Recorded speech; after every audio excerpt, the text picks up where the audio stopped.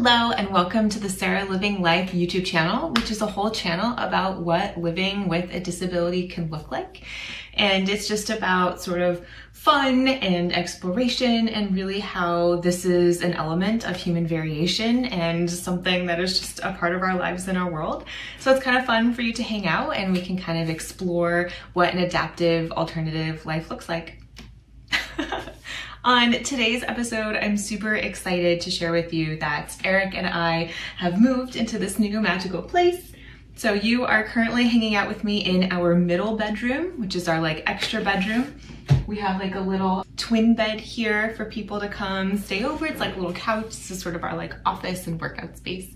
So I'm excited to gradually show you the different rooms as we navigate more through this channel, which is just so fun. It's so cute. I love it. Erik and I also just came back from visiting San Francisco. It's the first time that I was able to sort of show Erik a little bit about my world. Sort of, I didn't grow up in San Francisco, but I grew up in Northern California my hometown was closer to Sacramento. Um, but my father worked in San Francisco and we certainly spent a long time, a lot of time going into the city. Really, the city was a really important part of our childhood. It was always like a really fun, special occasion if we got to go into work with dad or if we sort of had some type of celebration in order to be able to go into San Francisco. So it has sort of a, a magical place in my heart. and then it was fun to be able to show that, uh, share that with Erik too we went out to San Francisco to visit a fantastic friend from college, Portia. I went to college at St. Mary's College, which is right in the Bay Area. Portia is just a fantastic friend from that whole college experience and really someone that we're learning how to grow and learn and how to just try to be a better person in the world and just all of that reflection that we did when we were like 18, 19, 20, 21. Portia threw a Harry Potter party, which was so fun. There was tons of decorations that were all Harry Potter themed that everyone worked really, really hard on creating. There was lots of Harry Potter themed uh, desserts. There was letters that were coming out of the fireplace. She had all sorts of just like really fun things set up just to like be fun and have this party for no reason other than celebrating friendship. And it was just so fun to be able to bring Erik here and have everybody meet each other. And it was just awesome. So I'm excited to share with you a little bit about St. Mary's, a little bit just about who I was at 18 and what the growth has been in the past like, oh my gosh, 12 years, right? Wow, that sounds like so many years. My junior year of high school, I was an exchange student and I lived abroad over in Italy. So when I came back for my senior year, thinking about college, where I wanted to apply to college, I had just spent a year away and I wasn't really ready to leave my family again. My family really wasn't ready, ready for me to leave again. So thinking about schools, I really wanted to stay sort of within the Northern California area. I really wanted to go to UC Davis, which is just down the road from where I was growing up. We had horses, we would take our horses in to receive care from UC Davis. So I just really liked UC Davis. I didn't quite know what I wanted to study, but I knew I wanted to be in the sciences. And UC Davis is, is certainly known for its agricultural sciences. It's known as a really great winemaking program. So I was just like, I want to go there. That's really what I had my heart set on. And then I applied to a couple of other schools, but I really had finished all of my applications in the fall of my junior year. And then my mom was like, you know what, why don't you apply for St. Mary's? I had gone to a Catholic elementary school and I was like, no, I don't think I want to do that again. um, I did, I was interested in doing another study abroad program. So my mom knew that St. Mary's had a good study abroad program. In addition, they had this January term, which is sort of a, a fun part of their curriculum. St. Mary's will have a fall semester where you take, you know, your classes will last the full semester.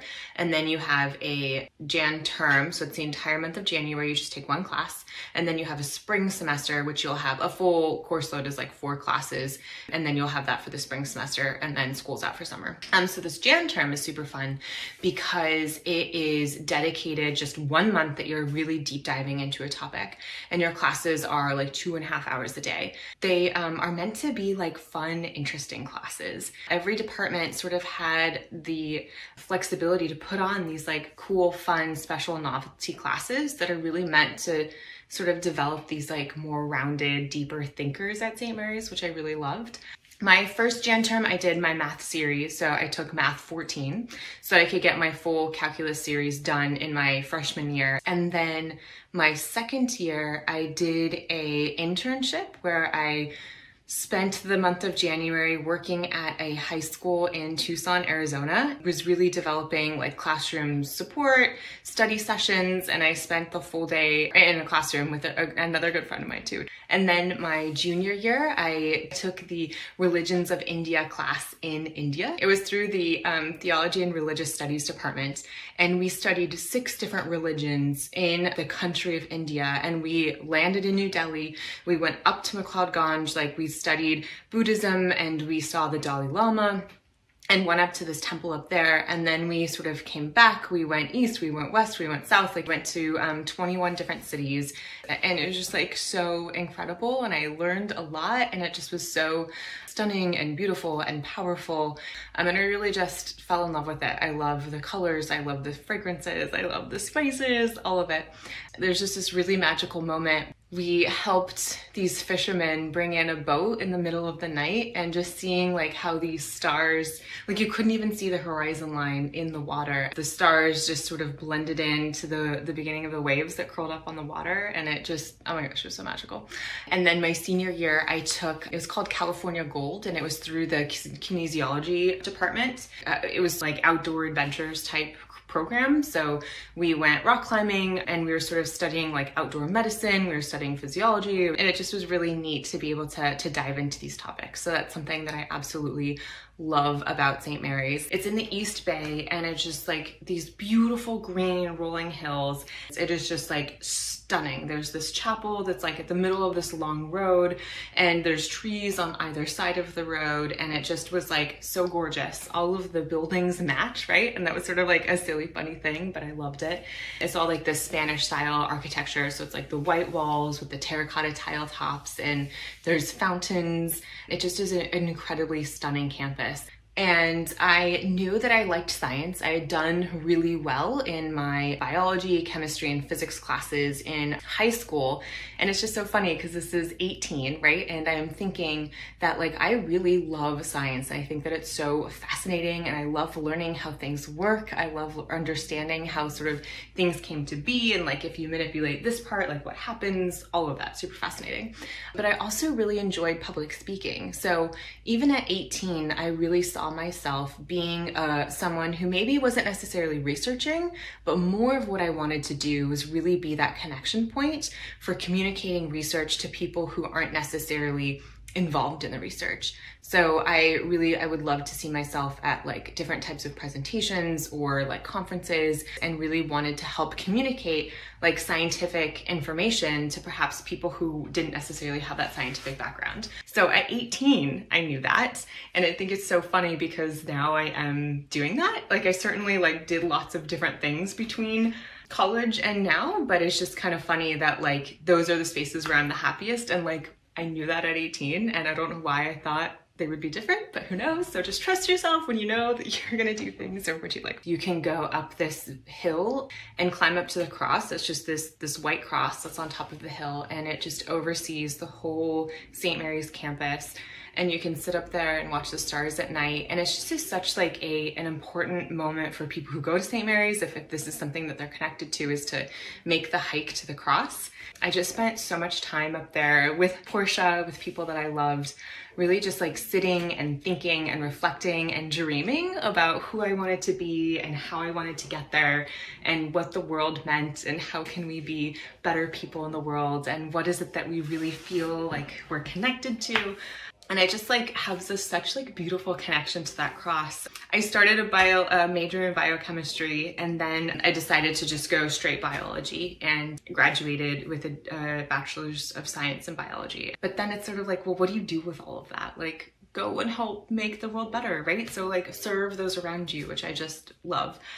So, so leaving St. Mary's with all of this like bubbling personality and thought, and then thinking of where I am today and just like the journey of going through that was tough, you know, like I, I became a flight attendant and then I moved out to Philadelphia and that was just really, really tough. There was lots of like dark times, there was lots of tears, there was lots of like ways I really wanted my life to work out and then it just didn't.